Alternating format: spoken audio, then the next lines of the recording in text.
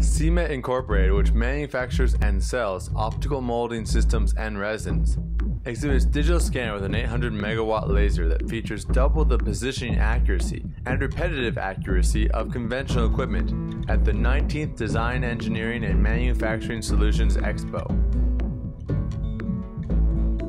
あのこれは光造形装置 RM6002 という装置でございますこの装置は 3次元 CAD の中のデータをこの装置に送り込んでこの中に紫外線液体の紫外線効果樹脂というのが入っています。それに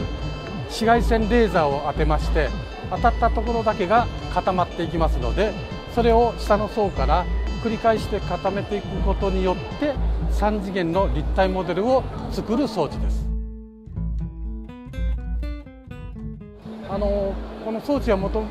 1415年前からのそうあの技術なんですが主に自動車業界家電業界応援機器業界を中心にあの導入されていっております。With the exception of the laser itself, all of the equipment and materials, including the light curing resin, the hardware and software of the equipment, and the scanner that moves the laser, were developed by CMET.